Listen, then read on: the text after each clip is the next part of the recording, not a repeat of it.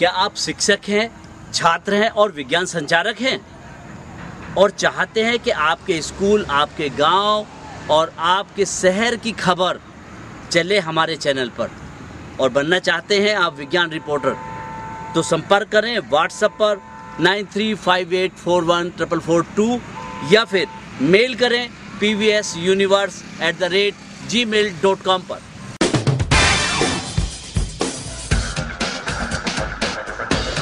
नमस्कार दोस्तों, मैं अनंत वत्स, आपका स्वागत करता हूँ इंडिया के पहले साइंस चैनल पर, विज्ञान और करके सीखे।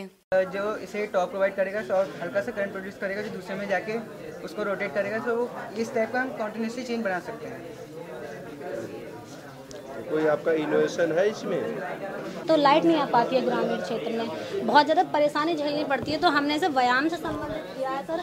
हम इस पर बैठ के व्यायाम कर सकते हैं। यहाँ से अपनी फिटनेस बना सकते हैं मसल्स बना सकते हैं जो हमने हमने हैं व्यायाम के साथ साथ आप गवर्नमेंट इसको अलाउ करे। हुआ आपके जी मैं बेटा बेटा इनका है ये तो इनके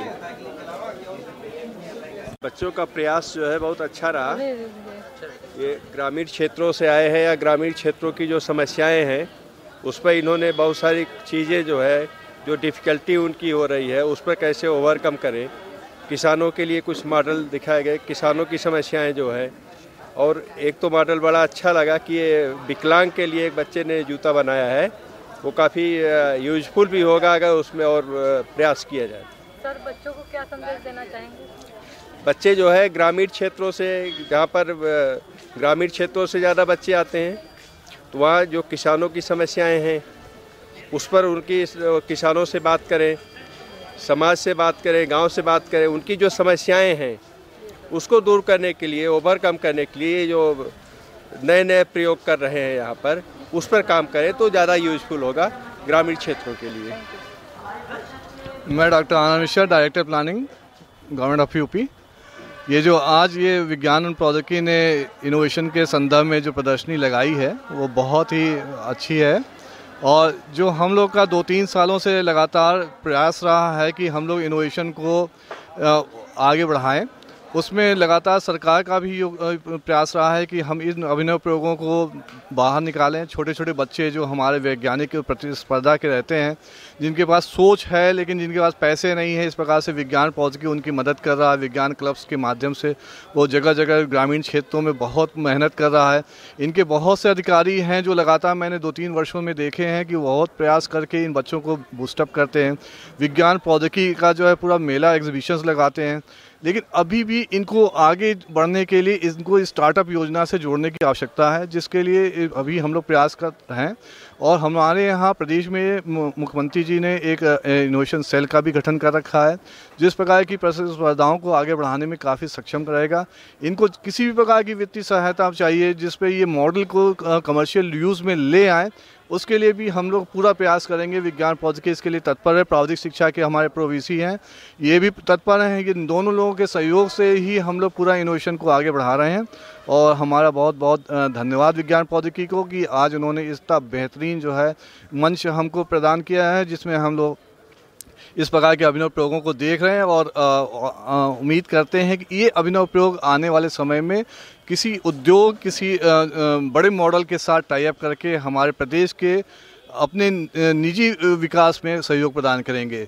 जैसा हमारा मुख्यमंत्री जी, प्रधानमंत्री का नारा है कि हम अपनी चीज़ स्वयं बनाएँगे, हम बाहरी लोगों के उस पर टेक्नोलॉजी पे कम आधारित हैं तो ये टेक्नोलॉजी हमें बहुत अच्छी है, सस्ती है और उपयोगी होगी। तो विज्ञान एवं प्रौद्योगिकी परिषद की तरफ़ से मैं केवल इतना कहना चाहूँगा कि प्रदेश की आवश्यकता के अनुसार चाहे वो बच्चे हों, चाहे हमारे जो है ग्रास रूट इनोवेटर जो पढ़े लिखे नहीं, अनपढ़ हैं, अशिक्षित हैं, या हमारी इंडस्ट्री है, हम हर क्षेत्र में प्रदेश सरकार की मदद से, प्रदेश सरकार के आशीर्वाद से हम हर क्षेत्र में जा रहे हैं और विभिन्न कार्यक्रम कर रहे हैं। हमारा ये प्रदेश स्तर का ये कार्यक्रम है, लेकिन इसके अलावा हम ग्राम स्तर तक हमारा जो जिला विज्ञान क्लब है डिस्ट्रिक्ट मजिस्ट्रेट हैं इनके माध्यम से हम ग्राम स्तर तक जाके उनके इनोवेशन को खोजते हैं इनोवेटर्स को खोजते हैं और प्रदेश स्तर तक ला के उनको उनके इनोवेशन को आगे बढ़ाते हैं उनको हम सम्मानित करते हैं और उनके टेक्नोलॉजी को जो अभी बात हो रही थी कि हम प्रोफेशनल तरीके से या उसको जो है कॉमर्शियल बेसिस में लाके समाज को एक सुलभ और सस्ता टेक्नोलॉजी दे सकते हैं। Thank you thank you sir जब आप शारीरिक सौंदर्यता बढ़ानी होती है तो आप जिम में जाते हैं। लेकिन जब आपको पर्सनैलिटी तो इम्प्रूव करनी हो साथ साथ ही मानसिक पर्सनैलिटी इम्प्रूव करनी हो तो आप कहाँ जाएँगे? उसके लिए आपको जाना होगा विज्ञान के जिम में। देश का पहला विज्ञान जिम कहें या यो कहें कि देश का पहला विज्ञान चैनल है विज्ञान आओ करके सीखे। प्रगति विज्ञान संस्था का यह चैनल अपने आप में एक विज्ञान जिम है, जहाँ पर आपकी और आपके बच्चों की मानसिक पर्सनैलिटी इम्प्रूव होती है। इस प्रकार की वीडियो या साइंटिफिक एक्टिविटीज़ से अपडेट रहने के लिए इस चैनल पर सब्सक्राइब कीजिए।